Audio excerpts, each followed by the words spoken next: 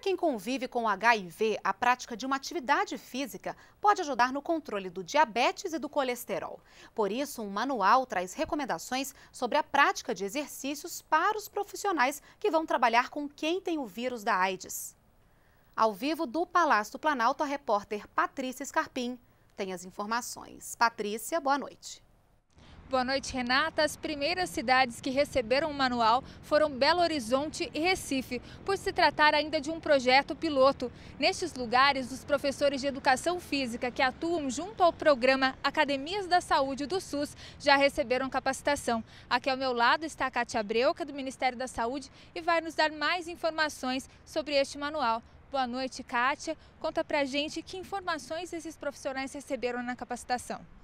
É, a capacitação iniciou com informações gerais sobre AIDS, acerca de prevenção, transmissão é, e todas as informações que as pessoas precisam ter, né, e que aí a gente acha que já tem pela formação que são profissionais de saúde, mas não, foi, foi necessário sensibilizar os profissionais e depois, no segundo momento, nós entramos com o conteúdo de fato desse manual que é um conteúdo mais técnico que aborda a AIDS, a evolução da doença, as fases clínicas, o tratamento e as doenças que podem estar associadas, além de trazer as informações específicas para a prática dos profissionais de educação física no dia a dia com essas pessoas portadoras de HIV.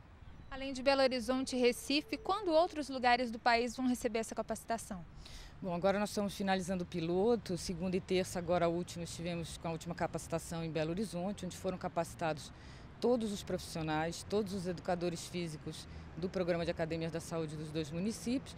Vamos avaliar em agosto, provavelmente, e a partir daí fazer proposta para os municípios capitais. Vamos iniciar pelas capitais, onde o Programa de Academias da Saúde estiver mais bem implantado aonde já tivermos mais condições né, e mais serviços à disposição nas unidades básicas de saúde. Que melhorias que é possível perceber numa pessoa com HIV e AIDS que pratica exercícios físicos? Bom, a prática de atividade física a gente pode dizer que beneficia a, todos, a todo mundo, a todos nós, né? As pessoas que vivem com AIDS, eh, elas podem ter outras doenças associadas onde o exercício tem papel fundamental, como por exemplo doenças do coração, diabetes, é, aumento, né, é, níveis elevados de colesterol, osteoporose. E é muito importante, muito importante, tanto para o controle dessas doenças como para a prevenção. Muitas dessas doenças para a AIDS são decorrentes da própria infecção do HIV e do tratamento antirretroviral. Além, desculpa, além de que o benefício da prática de exercício é, ele traz maior convívio social né, e uma melhoria da qualidade de vida como um todo. Ok, obrigado pelas informações.